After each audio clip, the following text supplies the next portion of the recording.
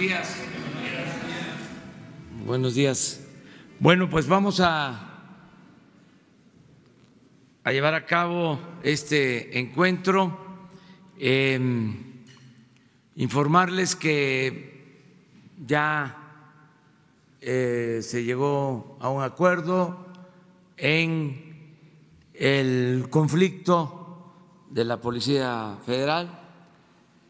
Agradecerle mucho a la gente, a los ciudadanos, porque ellos son los que nos ayudan con su participación. No se sostiene ningún movimiento eh, si no hay apoyo, respaldo ciudadano.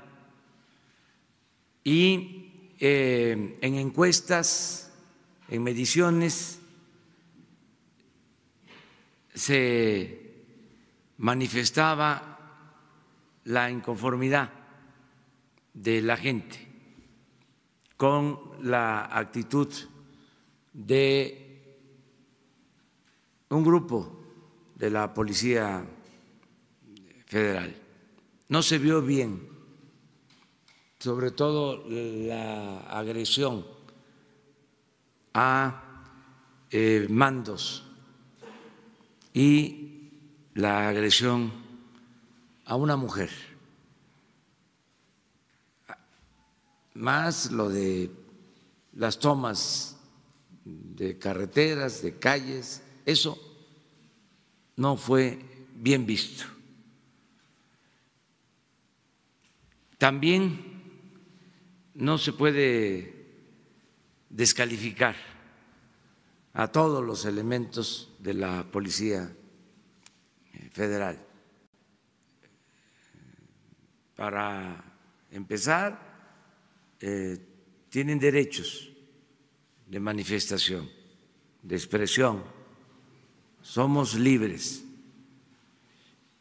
También en algunos casos em, actuaron por no contar con la información suficiente y fueron este, desinformados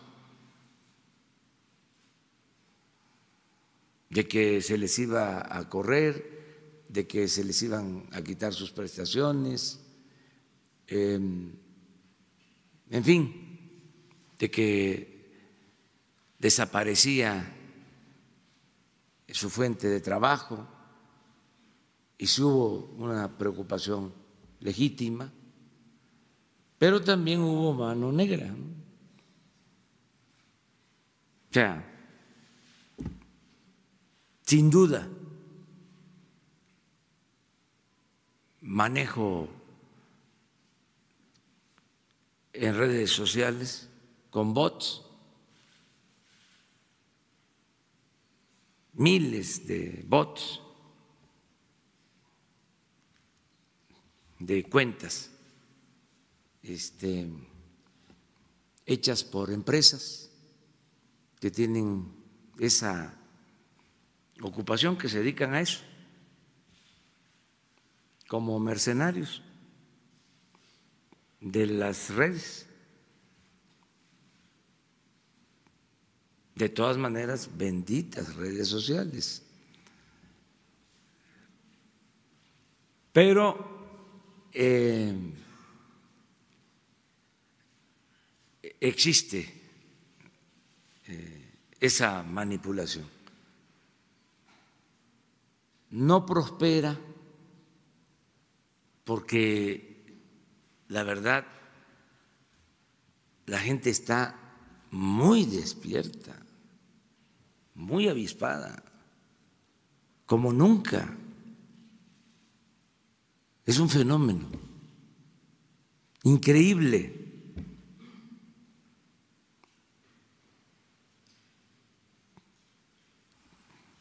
Pueden montar una campaña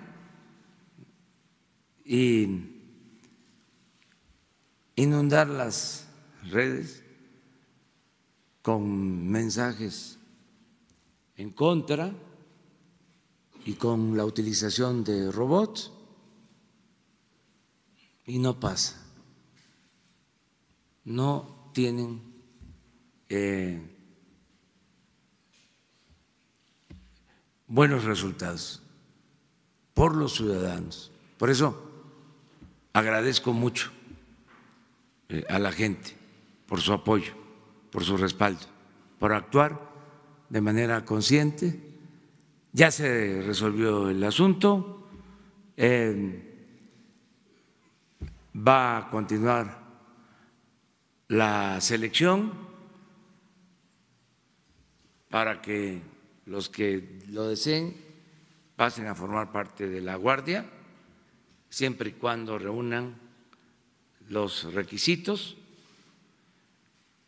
y los que no eh, puedan eh, participar en la Guardia Nacional van a tener otras ocupaciones, lo que hablábamos de la vigilancia en oficinas públicas y otras tareas, pero no se despide a nadie.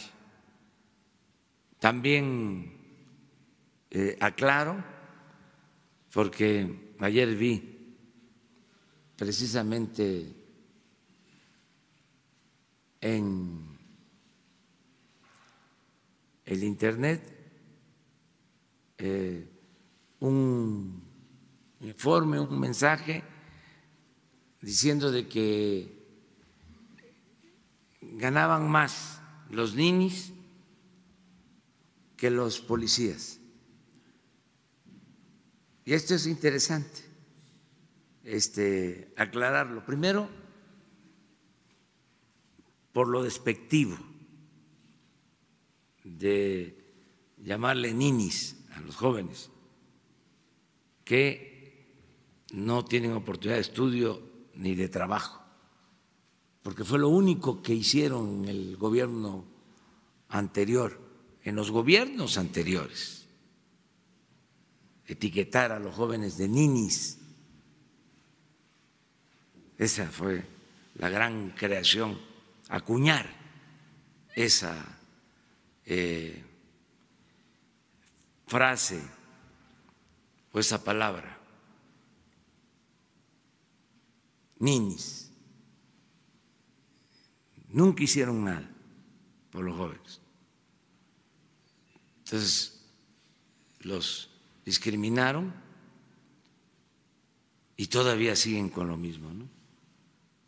Eh, me acuerdo que hace algún tiempo hubo una campaña este, cuando planteé de que se le iba a contratar a los jóvenes como aprendices, que ya son 600 mil jóvenes que están trabajando de aprendices y van a ser un millón pronto y dos millones trescientos mil. Y no va a quedar un joven sin estudio y sin trabajo. Pero cuando lo planteé originalmente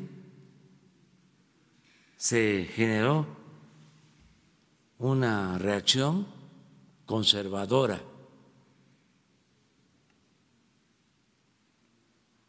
En contra de darle oportunidad a los jóvenes.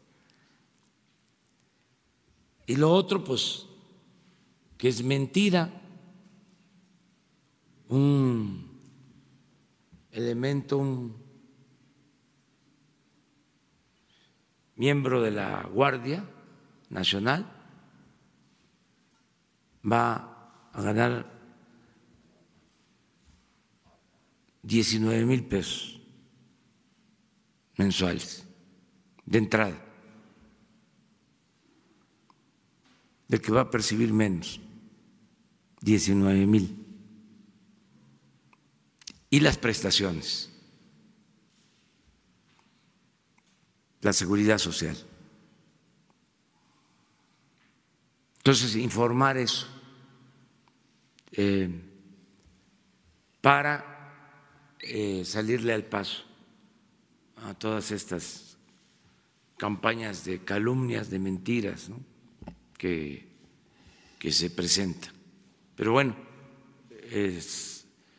resultaron bien las cosas. Luego tú, Sara. Gracias, buenos días. Ah. A propósito de, me lo dieron, gracias. A propósito de los policías eh, federales, ¿ha habido algún gobernador interesado en que los efectivos que no pasen la prueba para la Guardia Nacional, pero que quieran seguir en activo, por así denominarlo, pudieran ser trasladados a los estados en donde, por ejemplo, no hay policías eh, eh, bien capacitadas, no hay elementos suficientes que den seguridad. Esto por un lado. Y por el otro, pues la nota que a nivel, eh, digamos, con el vecino de los Estados Unidos nos está llamando mucho la atención. Una vez más aparece la amenaza de los aranceles. Eh, ¿A qué está jugando Donald Trump? Eh, ¿A qué está jugando Estados Unidos? Es un año electoral. Me queda muy claro eh, la política de no intervención en cuestiones de otros países, pero también entiendo que usted como presidente de México no solamente le habla al gobierno de los Estados Unidos, le habla al pueblo de los Estados Unidos y Donald Trump también le está hablando al pueblo de los Estados Unidos. ¿Cómo tomar esta nueva amenaza en medio de estas negociaciones? ¿Está corriendo el plazo? ¿A qué está jugando el presidente Donald Trump? Bueno, en la primera pregunta no hay ninguna solicitud y todos los elementos de la Policía Federal van a ser este, reacomodados. Hay este, trabajo, hay tareas en eh, otras áreas de vigilancia y de seguridad.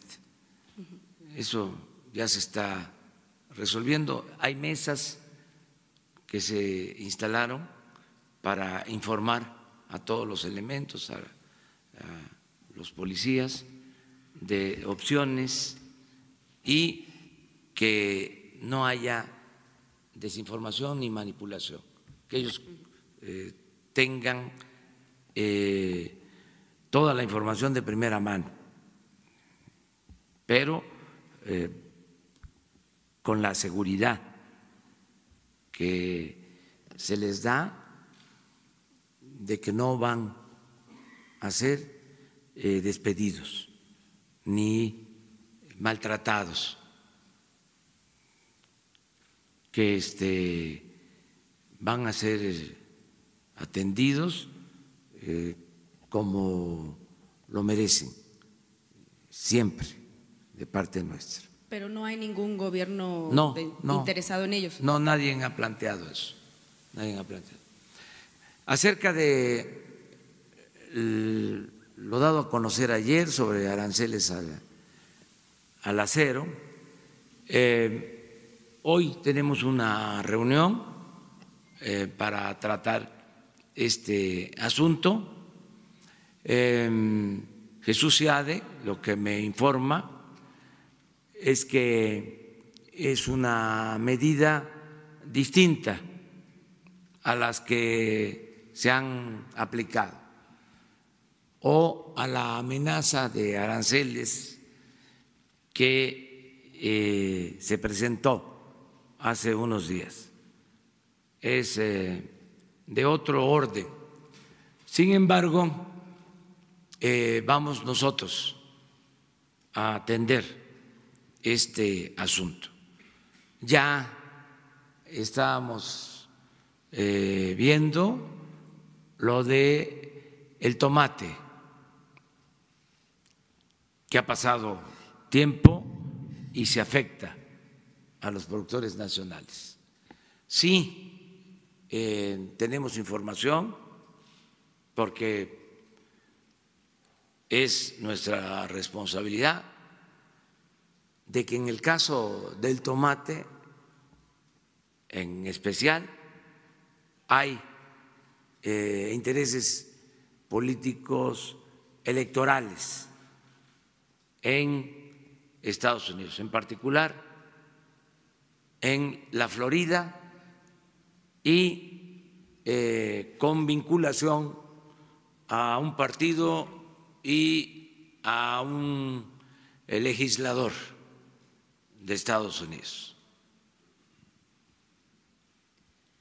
No puedo eh, decir más porque debemos ser respetuosos de eh, la política interna de otros países. Pero no es preocupante. Pero estamos enterados em, y vamos eh, a hacer gestiones en los dos casos, en lo que tiene que ver con el tomate, que ya este, se está pasando el tiempo y es injusto completamente el que se estén cobrando eh, aranceles, estas cuotas, y también en lo que se dio a conocer el día de ayer sobre el acero. Sí quiero este, separar estas medidas, vamos a decir, que son decisiones aisladas que no eh, tienen que ver de manera directa con el tratado de libre comercio. Es otro tema. Incluso eh, me decía Jesús Seade que tampoco con la resolución sobre el quitar aranceles al acero y al aluminio, como se logró en los días pasados, que es de otra naturaleza. Mañana eh, vamos a informar, va a estar aquí el secretario de Relaciones Exteriores y va a estar la secretaria de Economía y nuestro representante, Jesús Seade el que está a cargo de las negociaciones eh, comerciales, económicas con Estados Unidos. Gracias.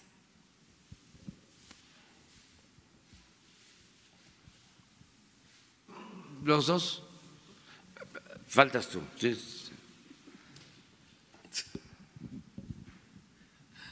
Presidente Roberto Cruz de Grupo Impacto.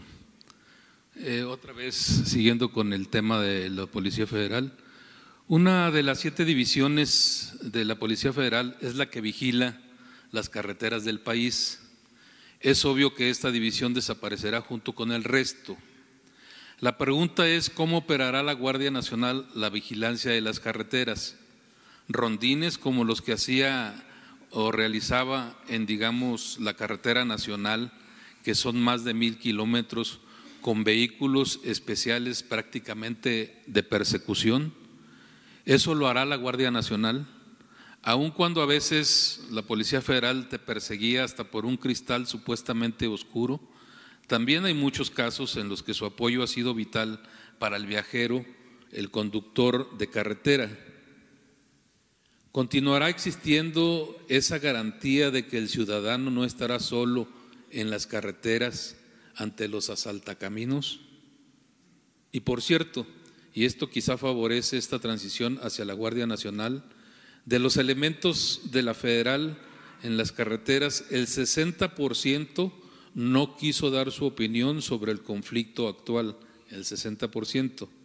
No opinan ni para defenderse y te remiten a la comandancia. Y en la comandancia te dicen lo mismo. Lo principal, la principal pregunta es, si operarán en las carreteras como lo está haciendo la Policía Federal con el mismo equipo y si el ciudadano podrá seguir contando eh, pues con ese apoyo y con esa seguridad. Esa es la primera pregunta. Sí, la Policía de Caminos, la Policía Federal continúa. Esa no es eh, función de la Guardia Nacional. va a continuar la misma eh, Policía Federal de Caminos. Se hablaba de las siete divisiones, ¿no? sí, van a reformarse, pero ese servicio continúa y lo seguirán eh, dando quienes trabajan en esta corporación. Lo que tenemos que procurar en todo es que mejore el servicio, se proteja a los ciudadanos y no haya extorsión, que no haya corrupción. Pero eso no solo en la Policía Federal de Caminos, en el gobierno en su conjunto, que se acabe la corrupción, es limpiar por completo de corrupción el gobierno, de arriba abajo. Esto es limpiar de corrupción al gobierno en migración, en aduanas, en las policías, en todo, eh, que no haya extorsiones, mordidas, eh, coyotes. Sí, estoy esperando avanzar más porque eh, vamos a aplicar una ley de confianza ciudadana que va a consistir en eh, quitar a inspectores de negocios, inspectores de centros comerciales, de eh, inspectores de restaurantes, de toda la actividad económica, quitarlos de vía pública. Nada más estamos pensando porque tenemos que garantizar el que no aumenten los energéticos, mantener lo de el control, la inspección en cuanto a gasolinerías y en cuanto a los precios de energéticos al consumidor. Pero en general queremos que eso desaparezca, darle al ciudadano toda la confianza. Y que con una simple manifestación de decir verdad eh, exprese que conoce sus obligaciones, lo que se le exige por ley, por reglamento, firman esa manifestación, el que tenga un comercio, el que tenga un establecimiento comercial, una empresa, eh, un negocio. Y em, es una manifestación de todos y con un sistema de sorteo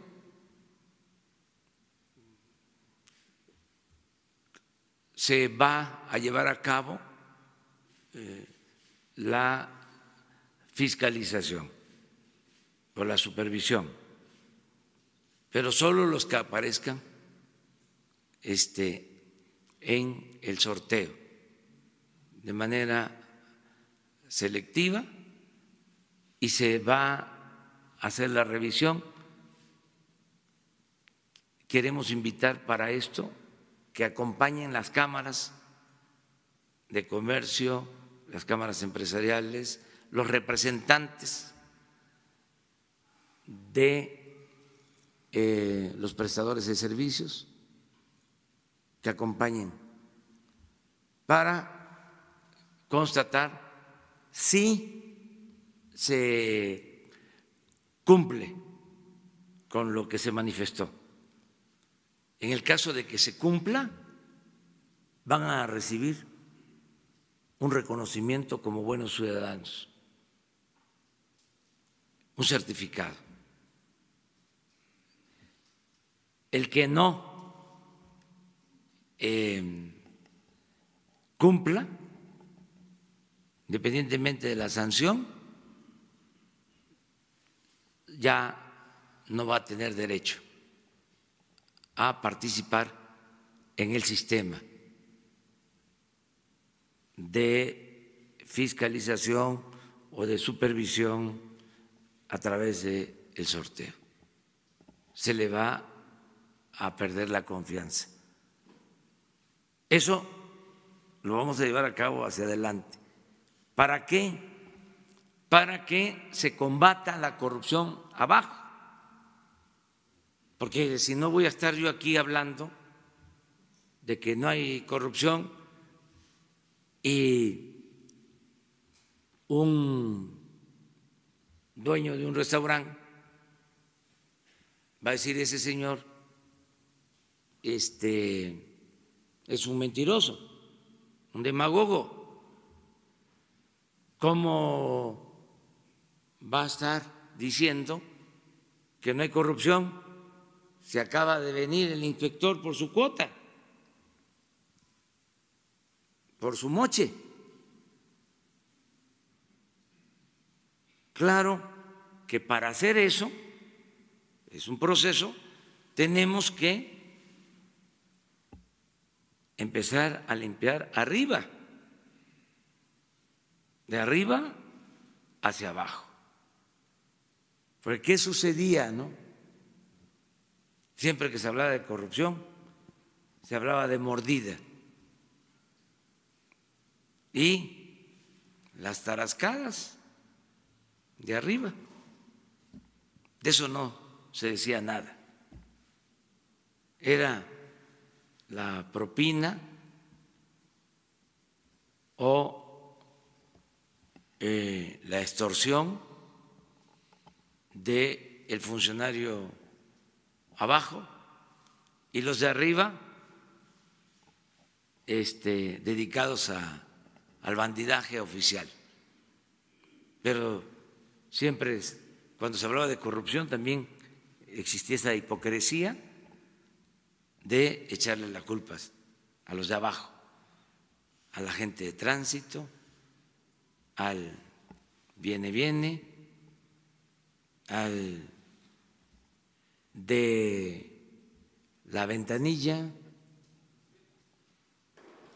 Entonces, es avanzar todos, todos, todos este, en acabar con la corrupción.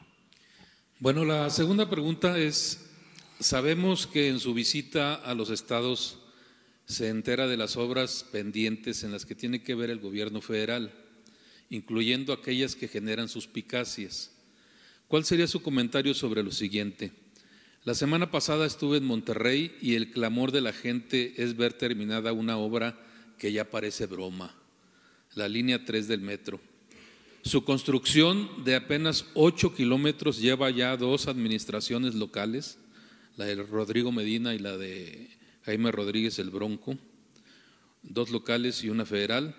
Ya pasaron siete años y no pueden concluirla.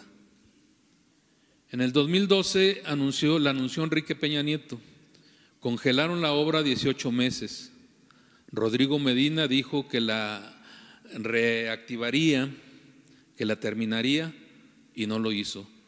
Llegó Jaime Rodríguez el Bronco y según anunció liberó los recursos. Aseguró que la entregaría y comenzaría a funcionar en el 2017. Pero ya se va, ya se va el Bronco y la obra sigue parada. La gente, me lo dijo, ya empieza a, dice que ya empieza a deteriorarse lo avanzado de la obra, pero también dice que el dinero para concluirla ha llegado varias veces y desaparece. No lo aplican. Dicen que solamente faltan los vagones. En marzo del año pasado el gobierno federal asignó 600 millones de pesos que no podían destinarse para ninguna otra, otra obra, para ningún otro concepto. Ya transcurrió la mitad del 2019 y siguen pasándose la bolita. La obra sigue detenida ya hace siete años. Hay que recordar, presidente, que Nuevo León es, y no el principal estado, uno de los principales que generan recursos para otras entidades. Esto ha sido durante mucho tiempo, sobre todo para el sur y el sureste, y también para la Ciudad de México. ¿Cuál sería su comentario respecto a este atraso tan grande para una obra necesarísima en Nuevo León? Bueno, estamos apoyando al gobierno de Nuevo León, lo vamos a seguir haciendo porque es un estado, en efecto, muy importante que tiene una economía en expansión, se están creando muchos empleos, eh, llegan muchos a buscarse la vida a Nuevo León de otros estados, por eso su crecimiento en la zona metropolitana. Y es un estado que siempre se ha caracterizado por su dinamismo económico, con un pueblo trabajador, un pueblo emprendedor y vamos a ayudar. Hay un plan que estamos llevando a cabo de manera conjunta con el gobierno del Estado, que incluye, entre otras cosas, el abasto de agua para la ciudad, también lo de los trenes. Eh, acabamos de tomar el acuerdo de eh, entregar a Nuevo León eh, todos los derechos de vía y de la estación del ferrocarril para utilizar alrededor de 120 kilómetros de vías y mejorar las vialidades, el transporte y voy eh, a tomar en cuenta lo que dice acerca del metro. Eh, voy a pedir información y mañana o pasado este, les preciso qué vamos a llevar a cabo y qué se está haciendo, eh, cuántos recursos se están destinando a Nuevo León.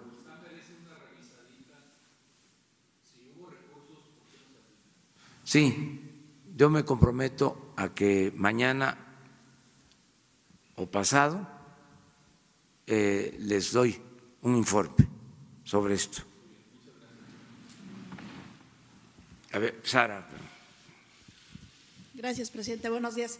Preguntarle en el tema de los aranceles esto que está ocurriendo, esta nueva imposición de aranceles, no significa que aunque ceda México a las peticiones del presidente Trump, cada vez puede pedir más, sobre todo pues en esta etapa electoral y porque México, bueno, pues eh, se dio en el tema de migración y ahora viene esto. Eh, en este tema, ¿qué opinaría? Gracias y si me permite otra pregunta.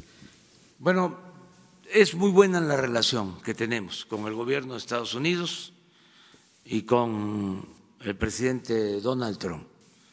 Por eso tengo eh, confianza de que vamos a poder eh, enfrentar este nuevo desafío sobre aranceles en el acero. Y lo mismo en cuanto a lo de la exportación del tomate, porque es buena la relación, nos escuchan y em, hay respeto al gobierno de México, como nosotros respetamos al gobierno de Estados Unidos. Entonces vamos a revisar eh, el caso bien y contamos, además de las buenas relaciones, con buenos negociadores, con buenos diplomáticos que ya han tratado estos temas con los representantes del gobierno de Estados Unidos. Si hoy mm, Jesús Seade eh, habla a representantes del gobierno de Estados Unidos, lo atienden, le contestan el teléfono. Y si solicita una audiencia, una entrevista, eh, se la conceden. Y lo mismo, desde luego, Marcelo Ebrat con el secretario de Estado y puedo decir lo mismo en el caso de Graciela Márquez con el secretario de Comercio de Estados Unidos. Es buena la relación. Sí hay pues circunstancias. Ya las expliqué o ya hice un esbozo cuidadoso para no meternos en asuntos internos de otros países. Pero pues eso es consustancial a la política. Siempre vamos a estar atendiendo asuntos. Para eso este, asumimos esta responsabilidad. Y preguntarle por otro lado, presidente, ¿qué les dice a los disidentes de los, policías federales que no aceptan estos acuerdos a los que se llegaron? Y también me gustaría saber su opinión sobre esta reforma que se hizo en Baja California para que Jaime Bonilla amplíe su periodo de gobierno de dos a cinco años con los votos pues prácticamente de todos los diputados locales solamente una abstención. Gracias. Bueno, los que no acepten, pues están en su derecho. No siempre hay que decir que sí. Somos libres. Cada quien puede hacer lo que considere más conveniente. Pienso que se avanzó con el acuerdo pero pues siempre va a haber diferencias, disidencias, porque eso es también consustancial a la democracia, a las libertades, y se deben de garantizar. ¿Cuántos eh, policías no están aceptando estos acuerdos? Yo tengo la información que este, ya se llegó a este acuerdo y no quiero menospreciar a quienes eh, no aceptan el arreglo. Los respeto. Algunos están diciendo que no los representan los líderes. Eh, ¿No sería necesario más información para, porque ellos dicen que desconocen incluso algunos de estos acuerdos? Pues eh, yo creo que se va a difundir el acuerdo hoy este, y hay mesas de información en este, las eh, sedes de la Policía Federal. Y se está informando. Y se están inscribiendo para participar en las distintas tareas, muchos. Entonces, eh, cuando se dé a conocer el acuerdo, em, creo yo que se van a aclarar dudas y se va a resolver. Lo otro no opino porque no quiero que se vaya a malinterpretar. Hay un procedimiento legal esto tiene que ver con el Congreso del Estado. Hay instancias eh, legales y debemos de esperar lo que resuelvan las autoridades competentes. No es un asunto que tenga que ver con el Ejecutivo Federal.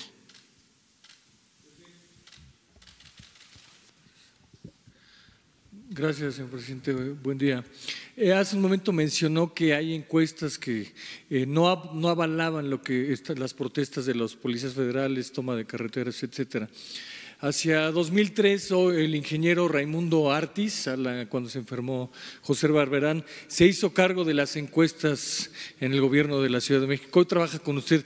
La pregunta es, ¿qué encuestas le está haciendo Raimundo Artis? No que esté comprando el gobierno, sino qué información está generando usted para tener el pulso de la opinión pública. Un, un gobierno que se basa tanto en en la fuerza de la opinión pública para gobernar, quizá no estaría sin esta información. ¿Qué encuestas y qué información le estaría dando, presidente? si me permitiera ahorita una segunda pregunta. Gracias. No tenemos un sistema de aplicación de encuestas. No hay. No se contratan encuestas ni estamos llevando a cabo nosotros levantamientos. Esto me lo informaron en la mañana, eh, me lo informó el secretario de Seguridad Pública y eh, creo que eh, fue de una encuesta publicada en medios. Y sí, le creo porque pues tengo también el pulso de lo que sucede, la opinión de la gente. Cuando em, tomaron la carretera de Pachuca, eh, la misma gente este, estaba muy molesta reclamándoles. O sea, este, no les gustó. Entonces, lo que me informaron hoy, que el 66 por ciento de la población rechazó el movimiento. O sea, e-, esa es la información. No, no pedí detalles sobre la encuesta, este, quién la hizo, pero eh, sí considero que así se manifestó la gente. Gracias, señor presidente. Sobre el tema de Baja California, a lo mejor no, no particularizarlo, pero ¿no cree usted que puede existir un fraude, un engaño al elector, en términos genéricos, que van el día del proceso electoral a votar por un gobernador de dos años y después le salen con que va a ser de cinco años, algo así como si uno hace un contrato con un banco para pagar dos años y de repente le salen, pues vas a pagar cinco. ¿No cree que si hay un engaño eh, al electorado, señor presidente? En general, no a lo mejor particularizar el caso, sino verlo en general. Gracias. Mire, si eh, hay eh, una manipulación, una cosa indebida, van a resolver los del tribunal electoral, a ellos les corresponde. Lo que sí puedo asegurarles, eso sí, lo puedo decir, es que nosotros no intervenimos. No hay, como era antes, línea de la presidencia. Eso sí, se los puedo asegurar. Nosotros no nos metemos en estos asuntos.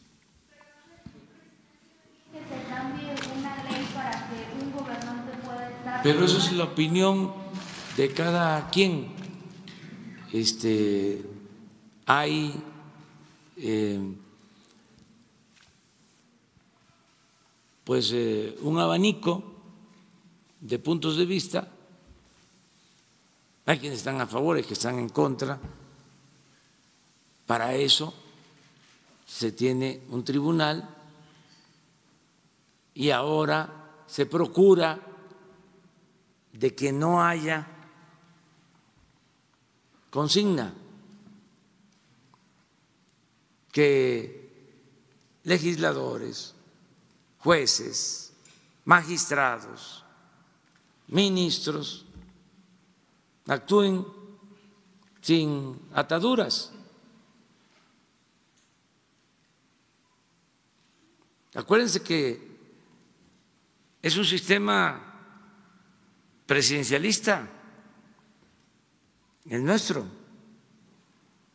Y antes se abusaba de eso. Y es una tradición que viene de lejos, del hombre fuerte, de el cacique mayor, del monarca sexenal. Eso se acabó. Se terminó. Ya el Ejecutivo no es el poder de los poderes. Ya lo hemos hablado muchas ocasiones. Hasta había comunicación de la presidencia a la Corte. Teléfono.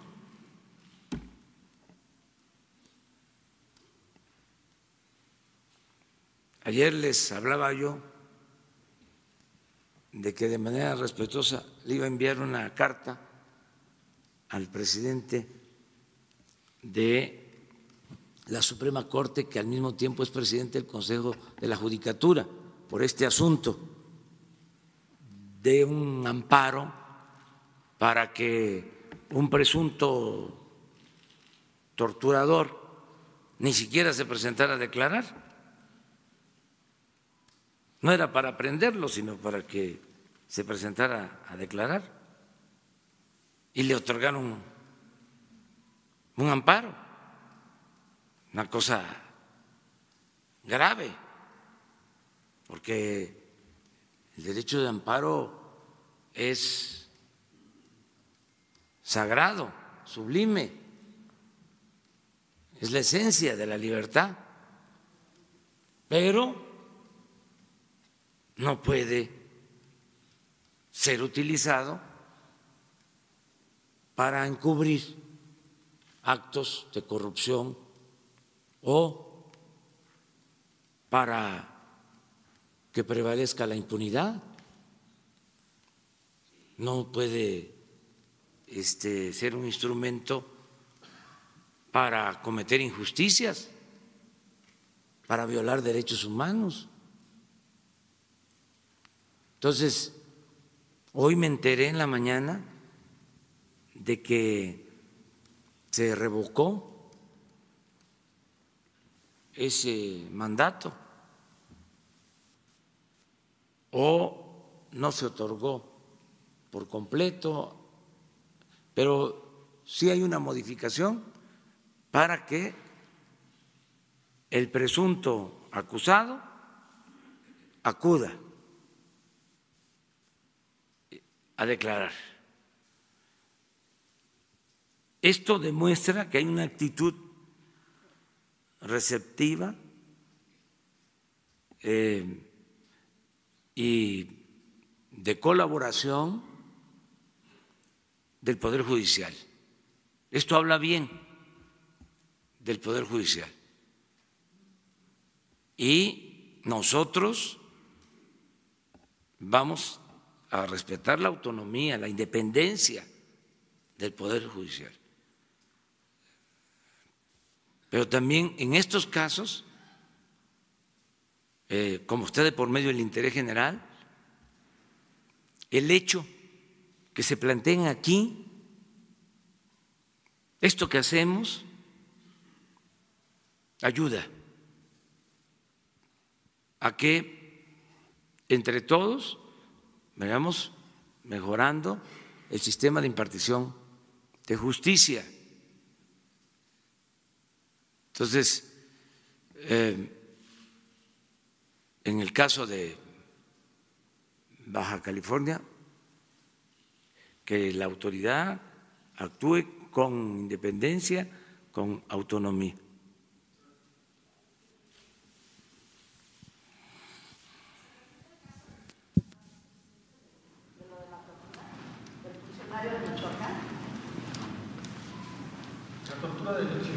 Es que no quiero este, ahondar, eso es un asunto de ustedes, o sea, ya dije, redes sociales.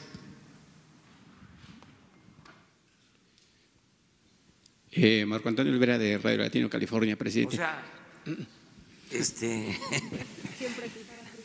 este, una precisión.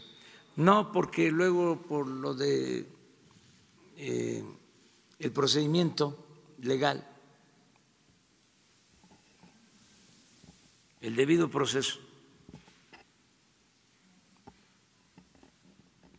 de- Es que es muy delicado mm, para que no usen este, esto de pretexto y no se pueda hacer justicia. Pero pues ustedes son mirones profesionales. Periodismo de investigación.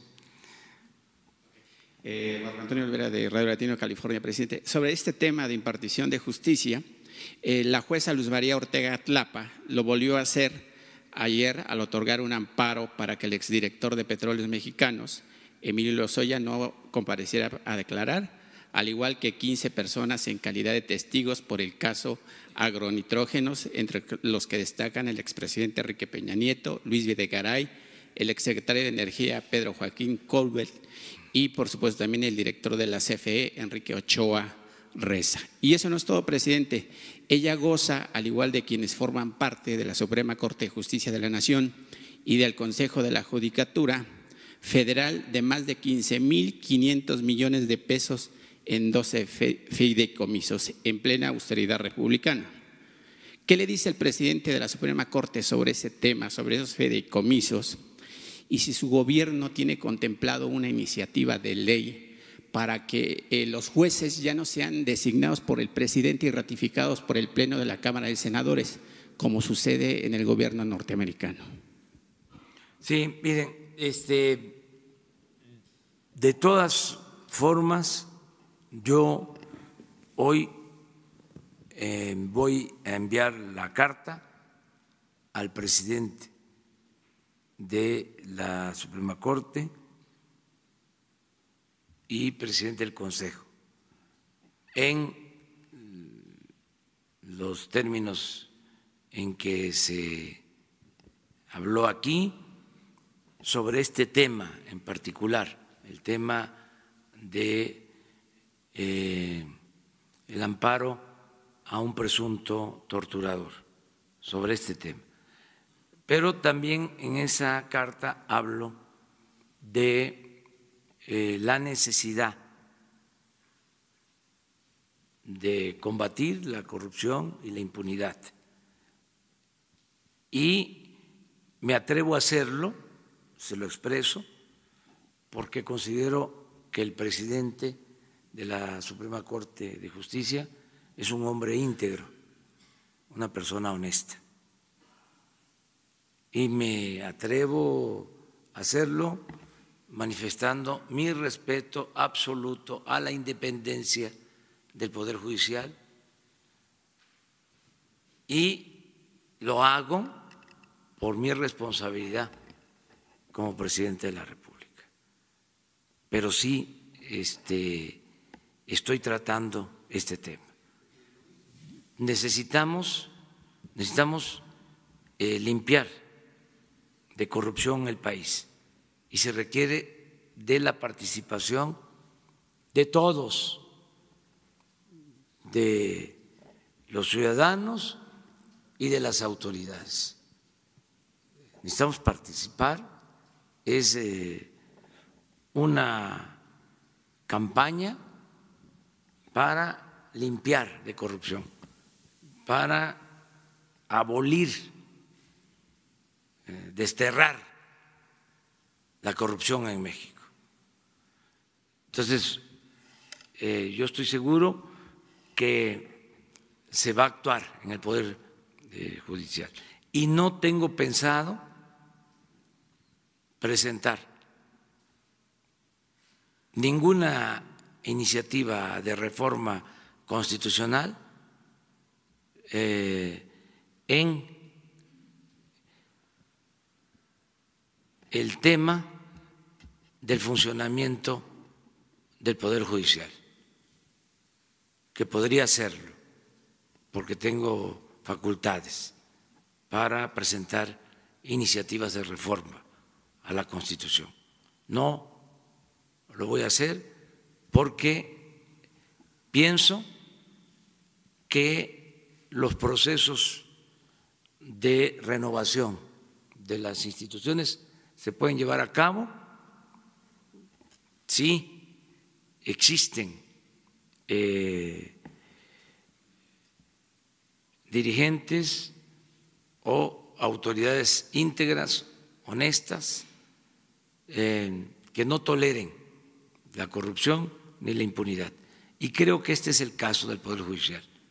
Creo que se puede con eh, los ministros y miembros del Consejo de la Judicatura llevar a cabo eh, la renovación de ese poder, haciendo uso de su autonomía.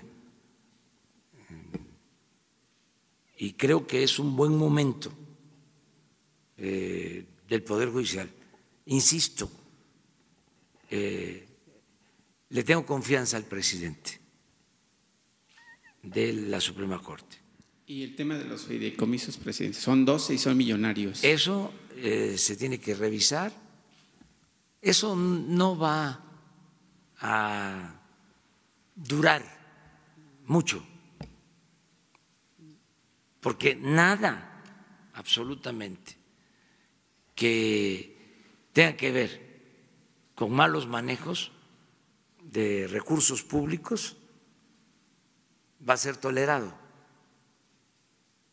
Eh, es cosa de tener la denuncia y que nosotros también tengamos todos los elementos.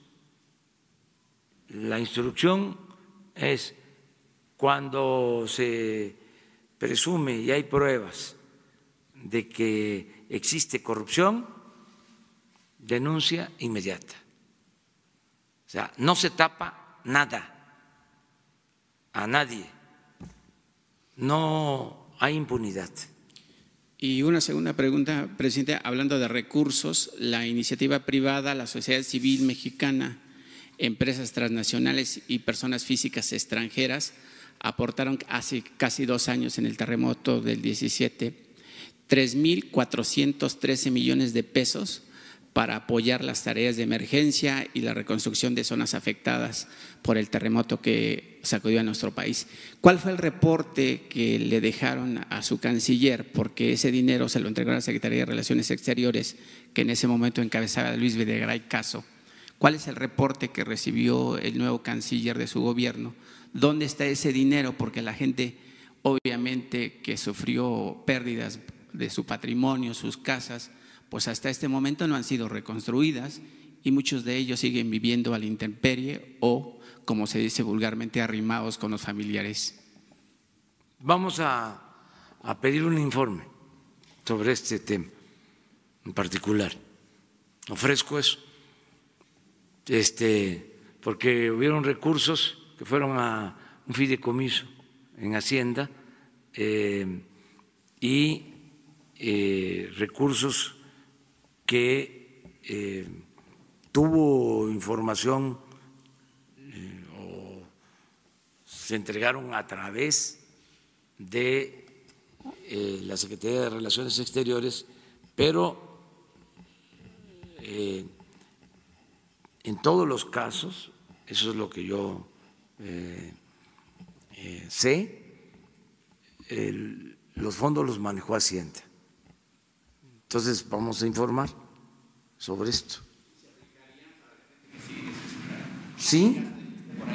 Claro, hay este, eh, fideicomisos, un poco lo que se plantea en la ley de austeridad es poner orden en todos estos fideicomisos que este, son muchos de todo tipo y muchos creados para no ser supervisados, para este, mm, ser manejados de manera discrecional.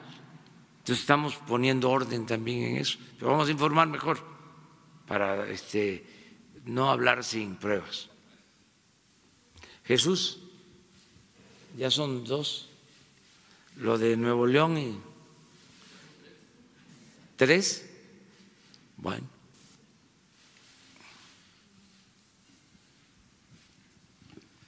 Jefe del Ejecutivo, Carlos Pozos, reportero de Petróleo y Energía.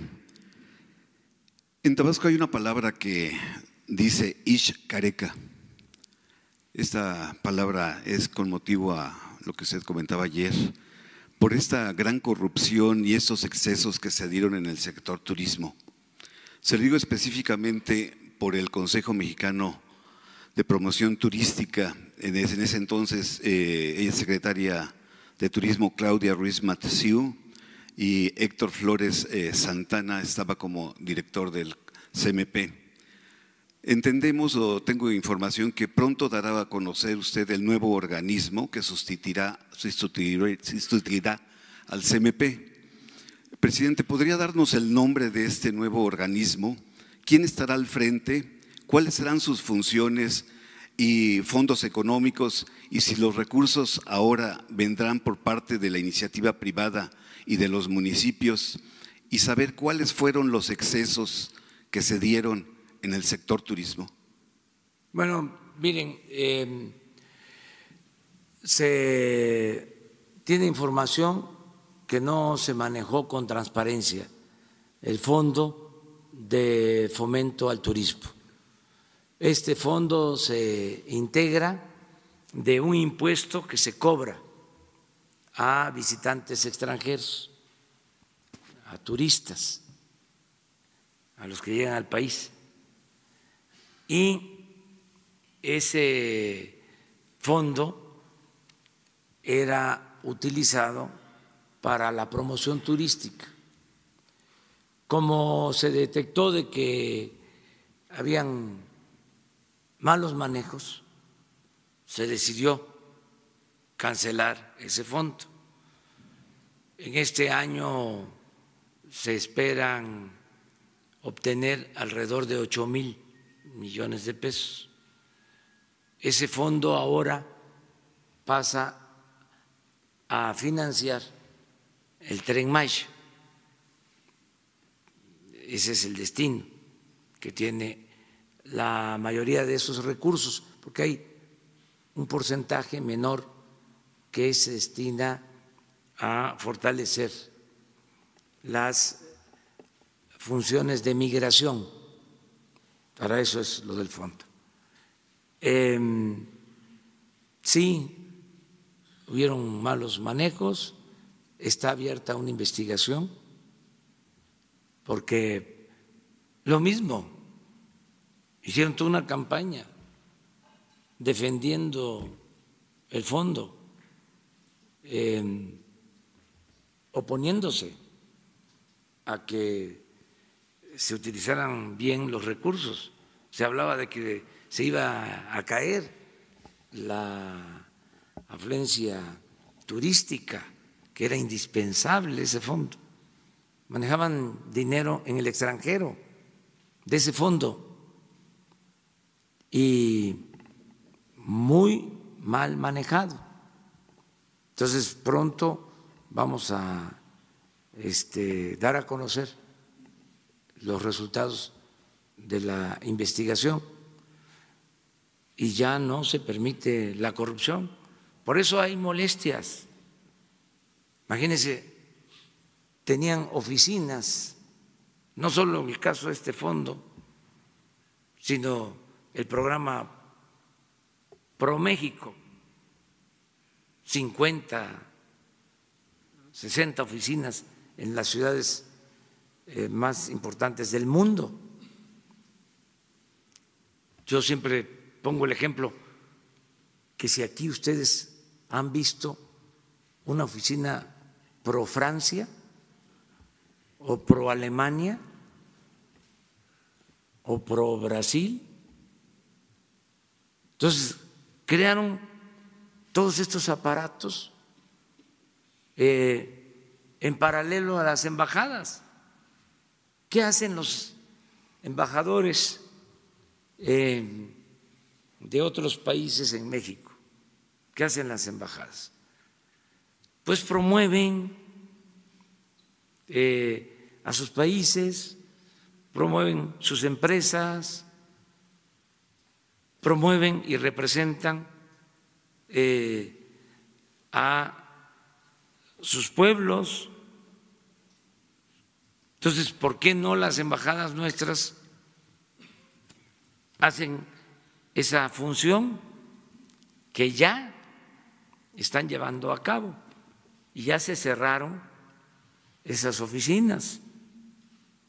Y es lo mismo de este fondo de el turismo. Y sí, en efecto, es este Fuchi con la corrupción, Guacala, y así se dice en Tabasco, exactamente, Ishcareca, Ishcareca, Ishcareca. Y este, nada de corrupción, Ishcareca. Presidente, retomando nuevamente la corrupción, la corrupción dio parte a la Casa Blanca del expresidente Peña Nieto y de Angélica Rivera. ¿Se regresará por parte del instituto para devolverle al pueblo la Casa Blanca? ¿Los mexicanos o los municipios tendrán esos recursos de esta famosa Casa Blanca? No puede este, llevarse a cabo nada que no signifique este, un proceso judicial no puede haber confiscación de bienes si no existe un proceso judicial. Entonces, el instituto para devolverle al pueblo lo robado va a recibir lo que se confisque eh, una vez que se dé eh, parte, se informe y lo resuelva la Fiscalía General. Ese es el procedimiento. Ahora el ejército, la Marina, hoy tuvimos el reporte, por ejemplo, cada semana lo hacen, de lo que se está confiscando en dólares, en eh, vehículos. Ahora se detuvo eh, un helicóptero la semana, armas, drogas. Entonces, todo eso pasa a la Fiscalía. Lo que se busca con la ley de extinción de dominio y en particular la de eh, la utilización de estos bienes es que de manera pronta y expedita se puedan regresar esos bienes al pueblo, porque antes se llevaban mucho tiempo, no se informaba, no se sabía a dónde iban a parar. Ahora va a haber un informe quincenal y lo que esperamos es que tengamos un mecanismo para que cada 15 días se estén entregando los bienes a los ciudadanos. Una de las modificaciones a la iniciativa fue en ese sentido, porque los legisladores, este, pues en uso de sus facultades, estaban proponiendo más tiempo para el, proceso de devolución al pueblo de lo que se obtenga. Y eh, se habló con ellos de manera respetuosa para cortar los tiempos. Eh, y va a haber un mecanismo em, de evaluación del bien para que en caso de que el juicio continúe y al final este, se tenga que devolver el bien, pues lo que se va a devolver va a ser el dinero de acuerdo a lo que este, eh, representó el avalú. Pero eso sería posterior. Estamos eh, acortando los tiempos para que no se pierdan las cosas, este, para que no se echen a perder, para que no se gaste más en el mantenimiento, en la conservación. Entonces, para eso es el instituto, este, eh, que se llama así, Instituto para devolverle al pueblo lo robado.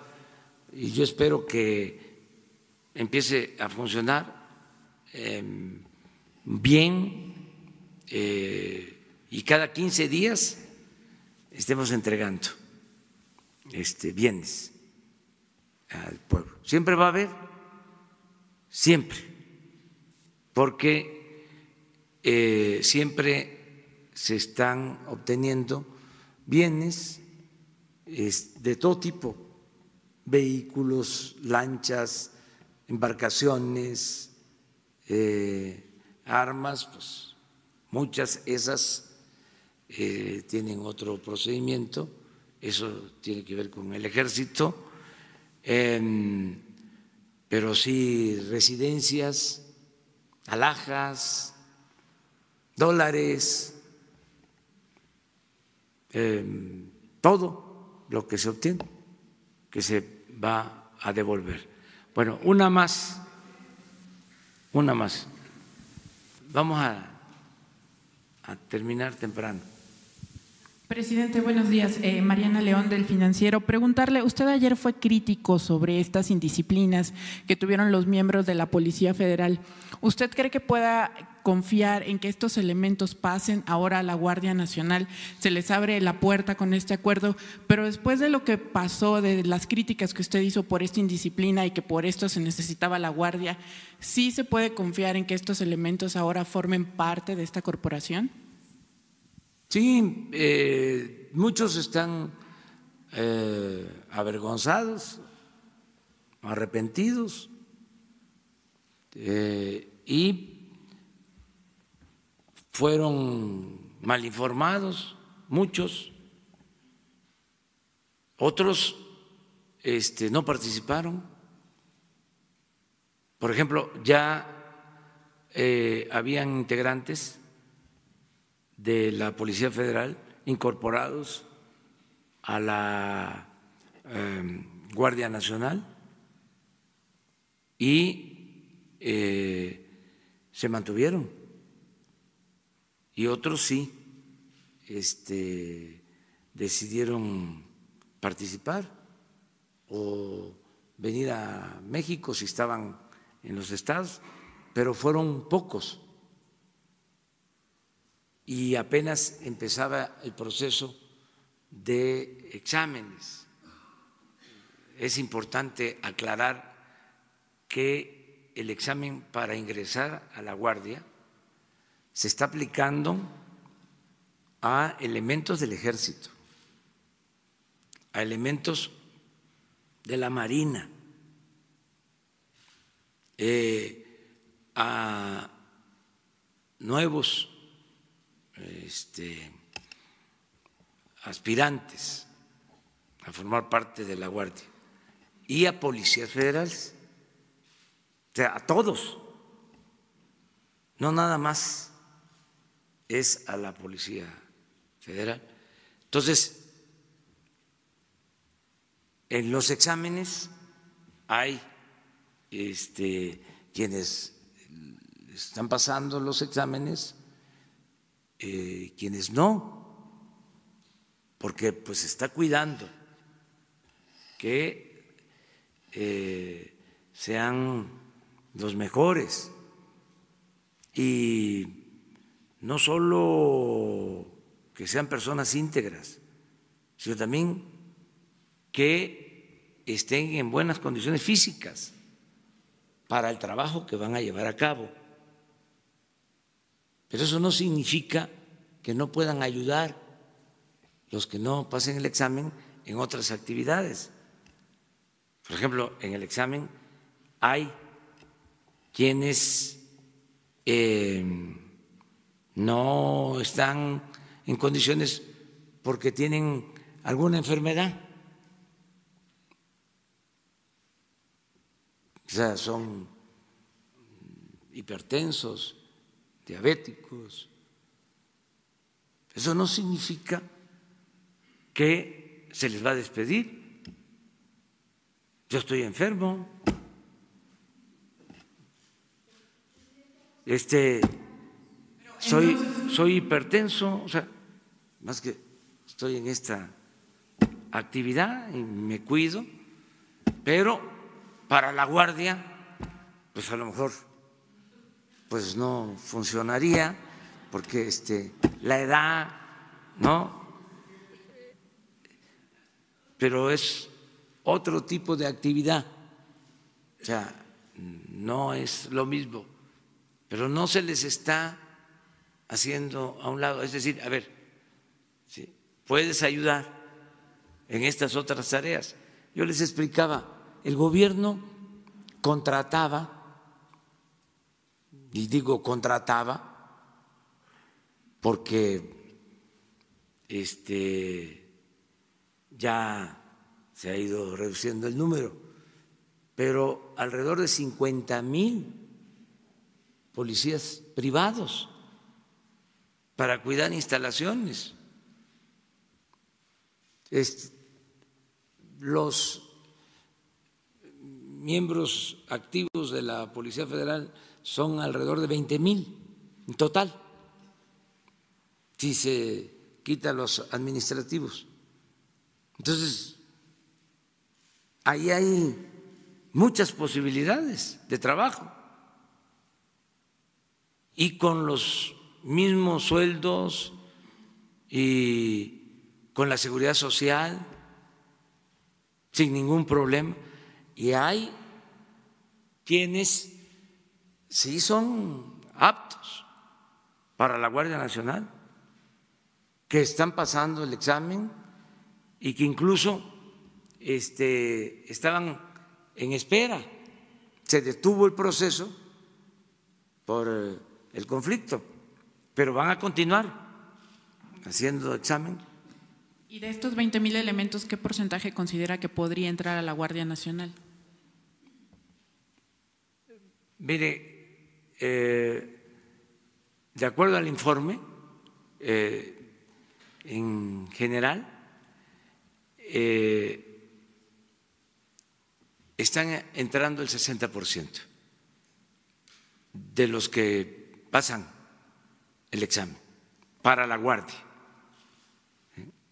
Eh, lo cierto es que em, son los que menos están ingresando de las otras corporaciones. del ejército el porcentaje de ingreso a la guardia es mayor, de los marinos es mayor.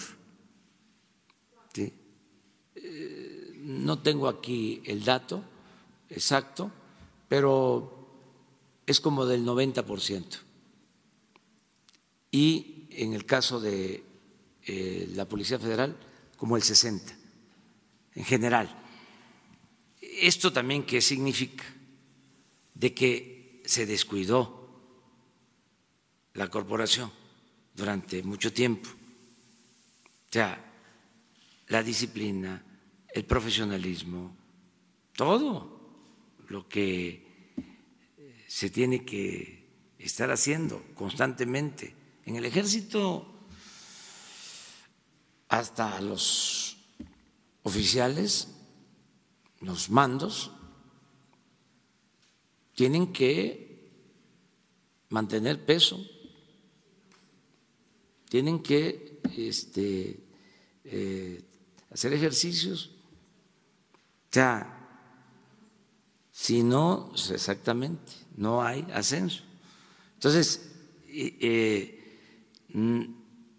y no es un asunto discriminatorio, es, eh, tienen programas, ahora tienen un programa este, muy importante eh, donde se está enseñando a comer bien, eh, con em, este, buena nutrición,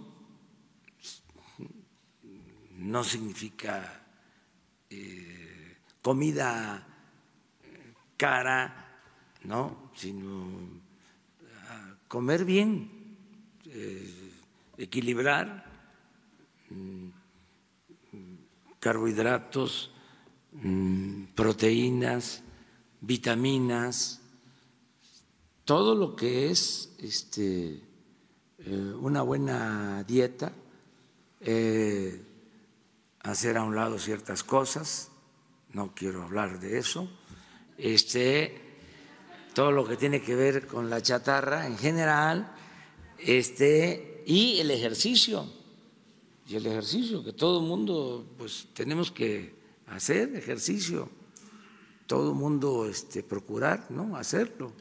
Claro, no es obligatorio, o sea, todo esto es eh, por convencimiento, ¿no? básicamente. Quisiera hacerle otra pregunta sobre las acciones de inconstitucionalidad que la CNDH planteó ante la Suprema Corte de Justicia. Eh, fueron ya admitidas dos por las leyes secundarias de, que, dan, pie a la Guardia Nacional. ¿Cree que estas leyes pueden cambiar después del primero o el, el segundo año de que ya entre en operación la Guardia? ¿Y cómo podrían cambiar? Y en general, ¿cómo ve estas acciones que promovió la CNDH? Gracias. Mire, eh, pues están en su derecho. Yo a la Comisión de Derechos Humanos este, le respeto, eh, no eh, considero que tengan mucha autoridad moral porque guardaron silencio, cómplice cuando el Estado era el principal violador de los derechos humanos. Entonces ahora, eh, con nosotros actúan de otra forma, de todas maneras es su trabajo, lo vamos a respetar, pero no me gusta la hipocresía. Em, no es posible que no hayan hecho nada para que se investigara la guardería ABC y a nosotros nos manden una recomendación por las estancias infantiles. ¿Cuándo? Lo que estábamos procurando o se está buscando en el caso de las estancias infantiles es que no suceda lo que desgraciadamente pasó con la guardería ABC. Entonces, es como el mundo al revés. Los que defienden los derechos humanos están eh, promoviendo una posible y grave violación de derechos humanos, porque ¿cómo se van a mantener estancias infantiles sin seguridad. ¿Por qué subrogar? ¿Por qué el sistema de privatización en la seguridad social? ¿Y por qué esta recomendación? Lo mismo en el caso de la Guardia Nacional, que hicieron para exigir el que se detuvieran las racias, las masacres en los gobiernos anteriores, ¿qué hicieron para eh, exigir eh, la presentación de los jóvenes de Ayotzinapa? Entonces ya basta de simulación, fuera máscaras. Pero tiene todo su derecho. Si el Poder Judicial decide que se modifiquen las leyes, lo hacemos.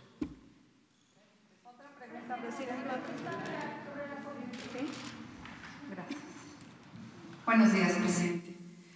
Eh, yo quisiera preguntarle su opinión respecto a esta situación que se está generando en algunas entidades como Coahuila, que, en donde se ha señalado que ya no van a recibir o ya no están dispuestos a que lleguen ahí las caravanas de migrantes porque no cuentan, no cuentan con la infraestructura necesaria justamente para recibirlos. ¿Qué opina de que se está generando esto?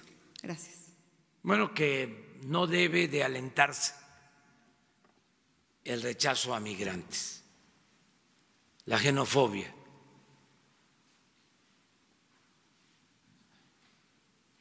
No rechazar al extranjero. No es humano. Además,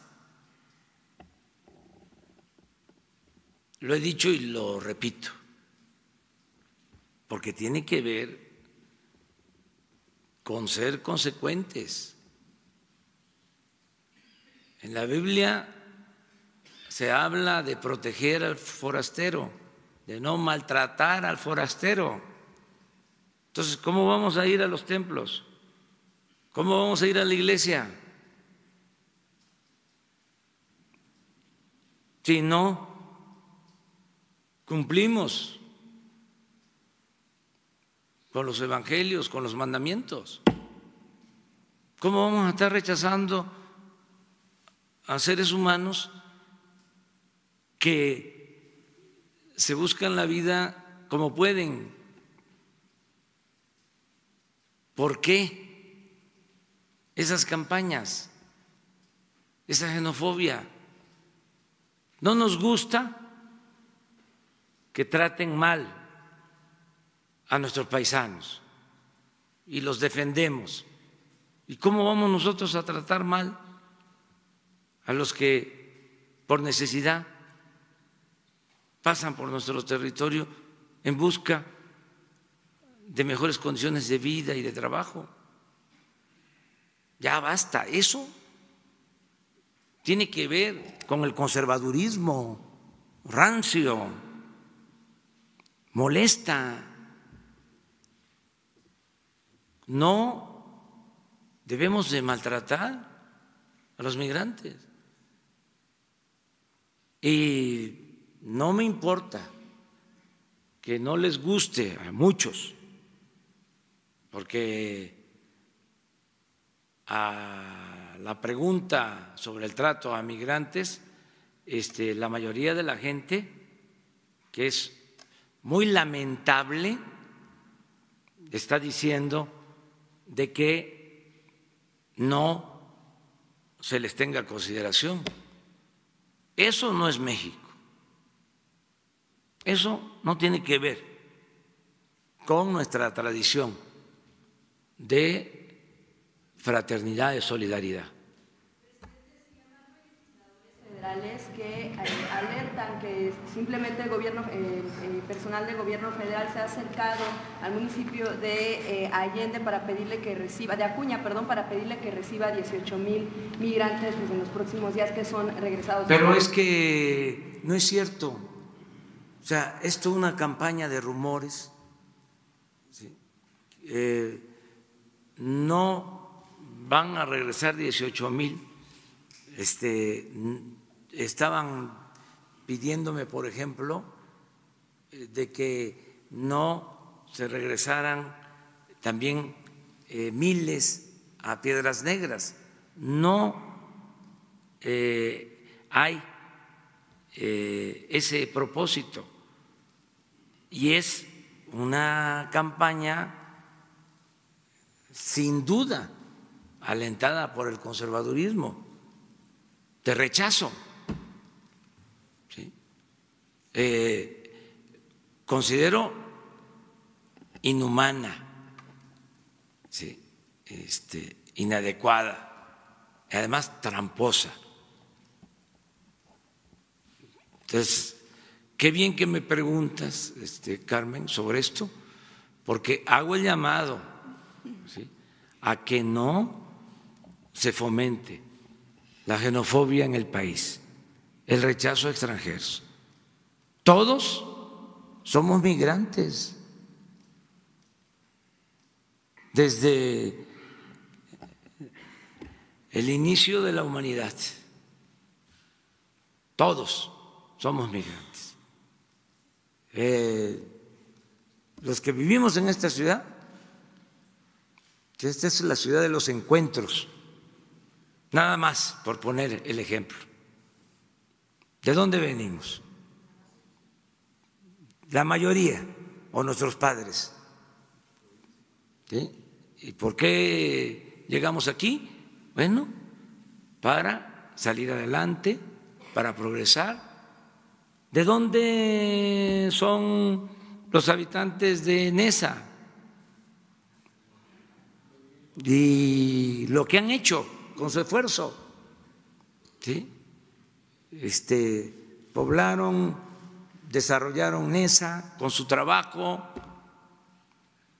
Entonces, ¿cómo nosotros vamos a actuar así? Tenemos que ser solidarios. Bueno, ¿de dónde son los de Tijuana? Hablando ya en plata. Este, ¿por qué llegaron a Tijuana? porque querían pasar del otro lado y por alguna razón se quedaron ahí y este Tijuana es su casa y la gente originaria de Tijuana eh, actuó de manera solidaria y fraterna y recibió a muchos. ¿Por qué? Ahora vamos a estar con estas cosas de rechazo a los migrantes. Es el conservadurismo. Que quede claro. Lo mismo, se llegó al extremo de decir, nos traen enfermedades. Eso es discriminatorio, es racismo, clasismo. Y desde luego es muy eh, inhumano quien tenga eh, eh, la intención de actuar de manera inhumana que le dé la espalda a los dolores de la humanidad. Y que este, se aísle y se eh, vuelva individualista y busque nada más este, satisfacer sus ambiciones personales.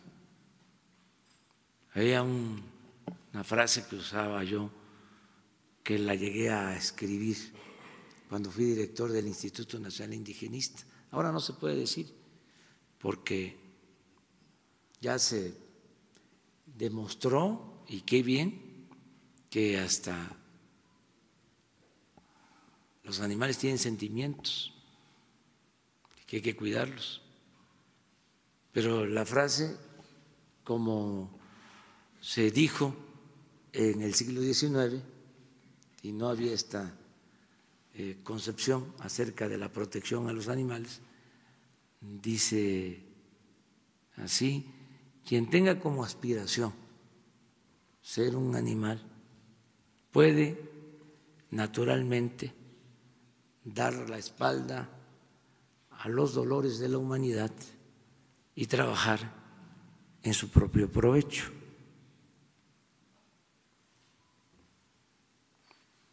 Está bien la frase, ahí se las dejo de tarea, es un filósofo, uno de los más importantes filósofos que han existido. Es muy buena la frase. Entonces, bueno.